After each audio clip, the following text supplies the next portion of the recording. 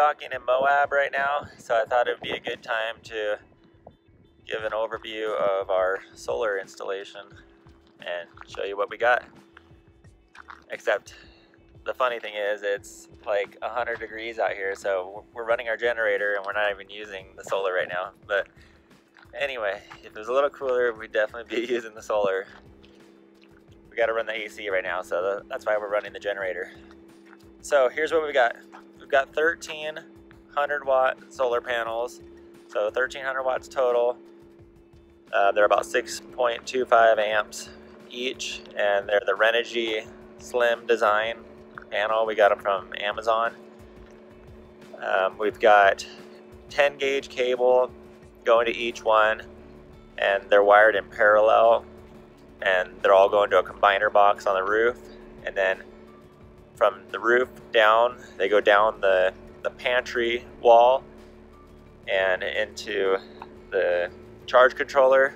And then from there, and that's in that's with two gauge wire to this charge controller. And then from the charge controller to the battery bank, that's two gauge wire as well. And we have a Victron charge controller. It's the 150-100 TR MPPT charge controller and I'm pretty happy with the setup we've got. So I'll just go over why we chose everything that we went with.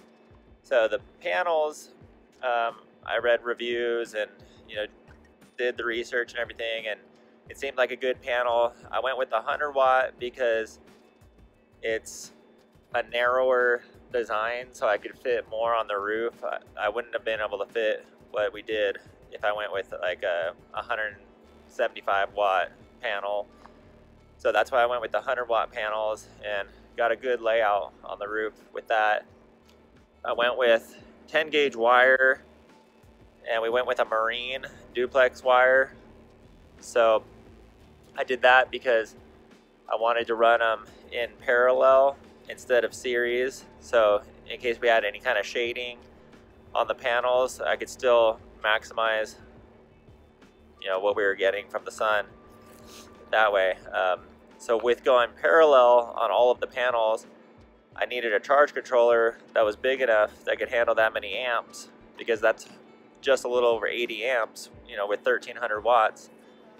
So I went with the Victron because I really liked the, the battery monitor that we're using and that's a Victron. So I, I just decided that, you know, we're gonna go with Victron on the charge controller too. So, and I'm really happy with it so far. So the reason I went with 13 panels is because that was pretty much all I could fit up there. And I didn't care about doing the kind of calculations like how much power are we using and you know, so how many panels did we need or anything like that. I basically wanted to just do as much as we could fit up there. So 13 panels was the configuration that I could fit up there and I have the satisfaction of knowing that we maxed out the amount of solar we could do. So the only other upgrade we could really do would be the battery bank and that's something I'll consider at a later time. So a lot of people on YouTube or whatever talk about, you know, running the AC off of the solar. So I wanted to test that. We've got 1300 watts of solar. We do only have a 440 amp hour battery bank and that's for 6 volt lifeline batteries. So I knew that would be our biggest issue with running the AC because you I mean it's not like you run the AC off of the solar you run it off the batteries and the solar charges the batteries while you're doing that so I rewired one of the ACs, the front AC, to run off of the inverter to test everything out. And the AC definitely pulls a ton of power. I mean, I did the calculations and and everything before, so I, I had an, a rough idea of how much power it would be pulling. But I wanted to see firsthand, you know, like you could do all the calculations you want, but once you test it out in the real world, that's when you can really see how it's going to go. So I rewired it, and one day I ran the AC off of the batteries while the solar was charging it, and it's it's just not possible right now. Anyway, I mean, first of all, you need to have a, a really good day of sun to be charging the batteries that quickly as they're being depleted.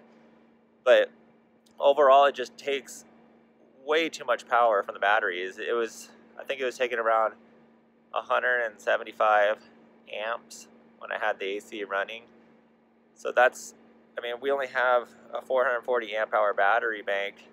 And I mean, if you go 50% discharge, then that's only 220 amp hours. So it's not possible.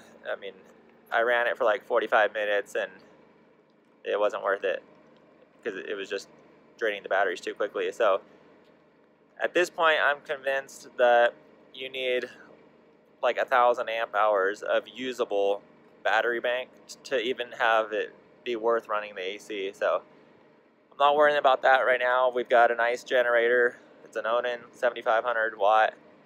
So if we're in areas like Moab right now where it's just 100 degrees and we're boondocking, then we're just going to run the generator and not worry about that. Um, ideally, we're going to be in areas where the temperatures are, you know, in the 70s or whatever. So we won't have that issue too much. But anyway, AC on the batteries, not possible or not worth it right now. So this is the beginning stages of the solar setup on the motorhome. So here's the plan. Use this piece of wood, make a little divider here. I've got these little bus bars, which I'm hoping that it's okay that they're not copper. These ones are aluminum. I got them from Home Depot. So it's going to go something like that. And then this whole up. It's going to rest inside this big junction box that I have. And I'll have the, I've got two gauge wire coming in on each side here into these big connectors there. And then the the 10 gauge wire going to each panel. It's going to be all in there. I've got 13, so there's 13 screws there. And I've got these waterproof um, strain relief connectors here, and I'll have 13 of them coming in around as I need them around the side there. And it, this junction box came with waterproof gasket and a nice lid for it. So this is the start.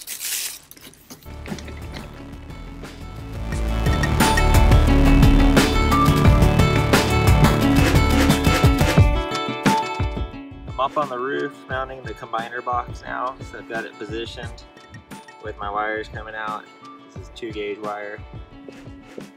And this is the spot it's gonna go in. So now I'm gonna take it off clean the roof, put a bead of Dicor on the back there, drill some holes in, get it permanently mounted.